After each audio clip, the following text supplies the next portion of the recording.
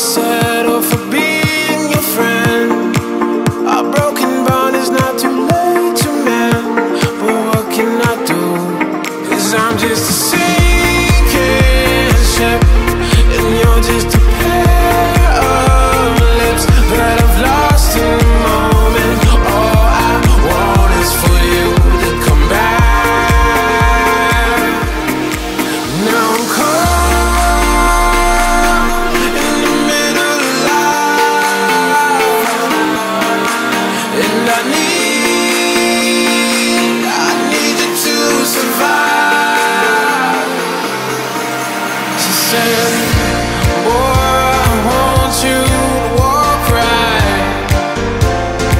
So I can give you one more chance.